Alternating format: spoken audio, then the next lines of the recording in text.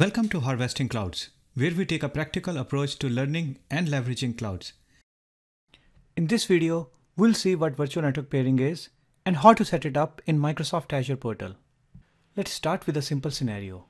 Let's try to understand why do we need virtual network pairing. Assume you have two VMs and each of them are sitting inside their own virtual networks. For example, there is dev VM 101, which is sitting inside dev 01 VNet. There is another VM dev VM 102, which is sitting inside a separate VNet that is dev 02. Now, for some reason, these two VMs, they need to talk to each other. But they cannot do that under normal circumstances. Any VM that is sitting inside one VNet cannot talk to another VM that is sitting inside a different VNet. They have security boundary. Each VNet has a security boundary by which the communication is limited. Now, if you want this communication to happen for your business case, what you need to do is connect these two VNets. And that connection is what VNet pairing is all about. So once these two VNets are connected through VNet pairing, the VMs will be able to talk to each other. And that communication can flow both ways.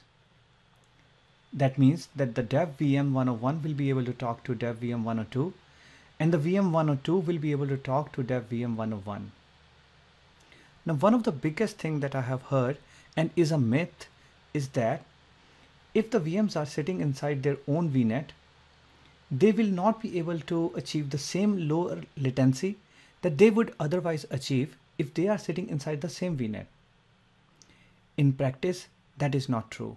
In fact, Microsoft documentation outlines that once you have VNet pairing set up, for all practical purposes, it would feel as if the two VMs in their own VNets communicating with each other, they would achieve the same lowest latency that they would achieve if they are in the same VNet. Also, this communication that happens between the VMs, it happens over Microsoft Backbone infrastructure. It does not require any public IP address. It does not require gateways or any encryption to secure the communication between the virtual networks. It, the whole communication, it runs only on the Microsoft Backbone infrastructure. Now, in this particular scenario, the two VMs that we are talking about, VM 101 and VM 102, they're sitting inside Azure subscription, that is same subscription, within the same region, that is East US region. Later on in subsequent videos, we look at global peering. Global VNet pairing is when the virtual networks, they are segregated by different regions. For example, the VNet uh, Dev 101, it can be in East US region, whereas your Dev 02 VNet, it will be in a separate region, for example, West US region. We'll look at all those scenarios later on. Right now, let's jump into the Azure portal and see how to set up this virtual network pairing and see the communication between the two VMs prior to the VNet pairing and after the VNet pairing. Here I'm in the Azure portal in the virtual machine section. As you can see, I have the two virtual machines, that is Dev VM 101 and 102. 101 VM that sits inside the Dev 01 virtual network and the VM 102, it is sitting inside the Dev 02 virtual network. The two virtual networks, they have non-overlapping address space. For us to be able to peer these two virtual networks, they need to have non-overlapping address space. Otherwise, the peering will not be successful. Now let's connect to the virtual machines, which I have already done so. So this first VM on the upper left corner, if I run hostname, you can see that this is dev VM 101. I'll run ipconfig and look at the private IP address of this particular virtual machine. At the same time, on the bottom right corner, I have dev VM 102. If I run the hostname, I can see the name of this VM and I can run ipconfig to see the private IP address of this particular virtual machine, which is listed over here.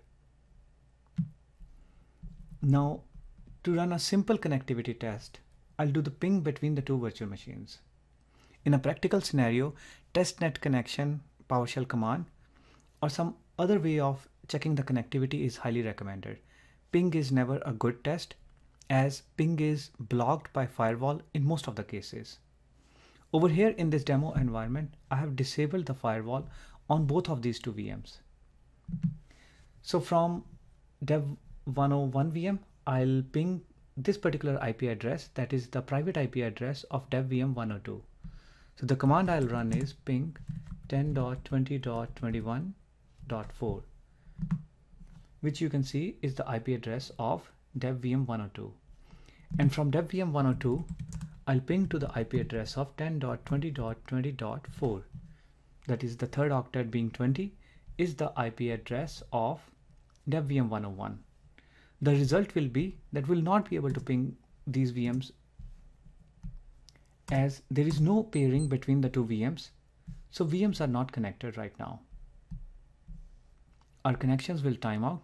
And the, as I said the VMs will not be able to connect to each other.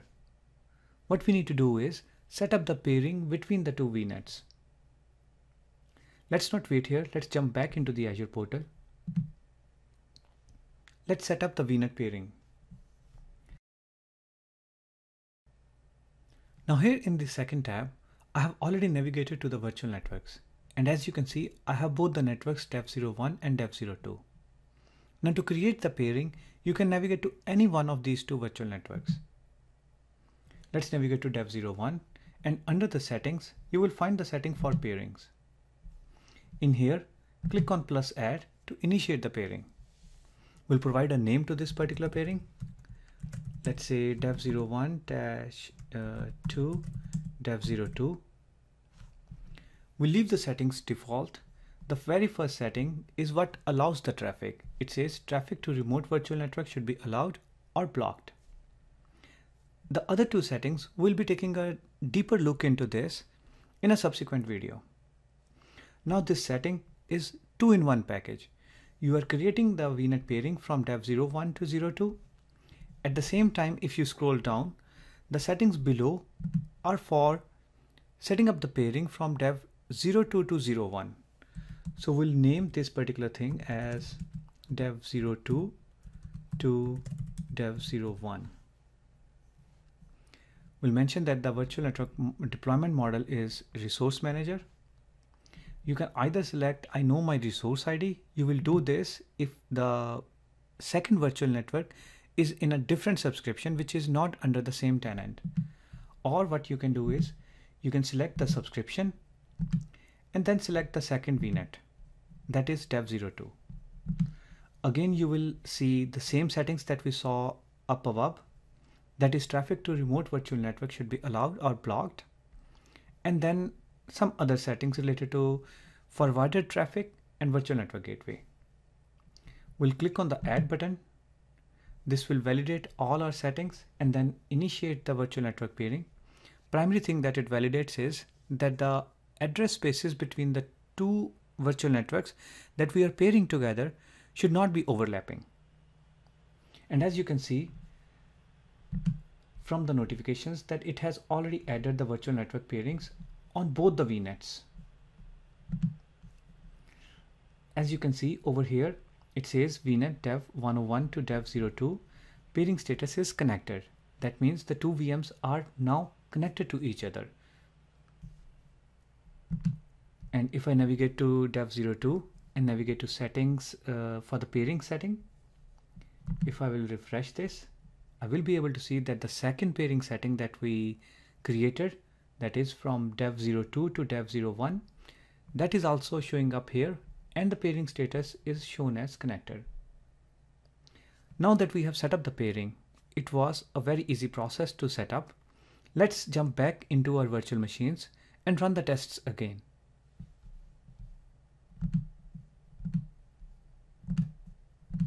So here I'm back in the two virtual machines.